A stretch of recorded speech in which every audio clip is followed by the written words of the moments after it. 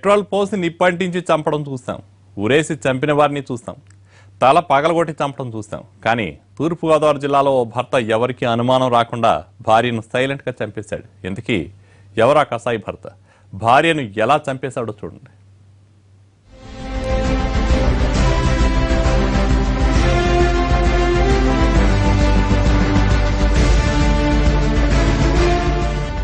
ఇతనే ఆ కసాయి భర్త షేక్ మొఘల్ సాహెబ్. తూర్పుగోదావరి జిల్లా మాటపేట మండలం ఏడుదలో నివసిస్తున్నారు భార్యాభర్తలు. ఇతని భార్య షేక్ షహీదా అక్టోబర్ ఇరవై రెండున అనుమానాస్పద స్థితిలో చనిపోయింది.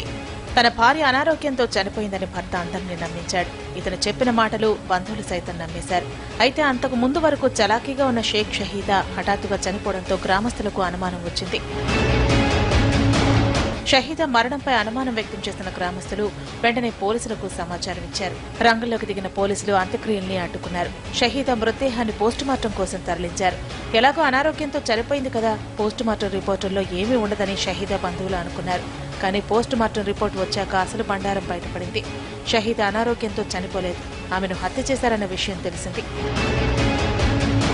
షహీదా అనారోగ్యంతో చనిపోలేదని చంపేశారని తెలుసుకున్న గ్రామస్తులు షాక్ అయ్యారు. పోలీసులు షహీద భర్త షేక్ మొఘల్ సాహెబ్ను అదుపులోకి తీసుకుని తమదైన శైలిలో విచారించడంతో హత్య కేసు మిస్టరీ వీడిపోయింది. షహీదాను భర్తే చంపేశాడని తేలింది. అయితే ఎలా చంపేశాడని ఆరా తీస్తే షాక్ ఇచ్చే విషయాలు తెలిసాయి. కొట్టినా ఉరేసినా తగలబెట్టినా తెలిసిపోతుందని భావించిన ఈ కసాయి ఎవరికీ అనుమానం రాకుండా పాము విషంతో భార్యను చంపేశాడు. షహీదా బేగం కుడి చేతికి పాము విషాన్ని ఇంజెక్ట్ చేసి భర్తే కిరాతకంగా ప్రాణాలు తీశాడని దర్యాప్తులో వెల్లడైంది. వివాహేతర సంబంధానికి అట్టుగా ఉన్న భార్యను వదిలించుకోవాలనుకుని ఈ కిరాతకానికి ఒడిగట్టాడు కసాయి భర్త. సీతానగరంలోని పాములు పట్టే వ్యక్తి నుంచి ఈ విషయాన్ని సాహెబ్ కొన్నట్టు విచారణలో తేలింది.